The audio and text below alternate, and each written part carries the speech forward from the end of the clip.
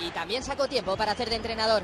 Cristiano intentaba corregir los desajustes del equipo, le pedía a la defensa que saliera de la cueva e indicaba que los tres de arriba nunca estaban juntos. Unas correcciones que tuvieron su momento álgido en esta escena entre Cristiano y Marcelo, donde Isco era testigo de excepción. Una serie de instrucciones con las que Marcelo no parecía estar muy de acuerdo. Y a Cristiano no le convencían las excusas del lateral. El caso es que este baile de gestos evidenciaban que algo no estaba funcionando sobre el campo, el Madrid estaba perdido tácticamente.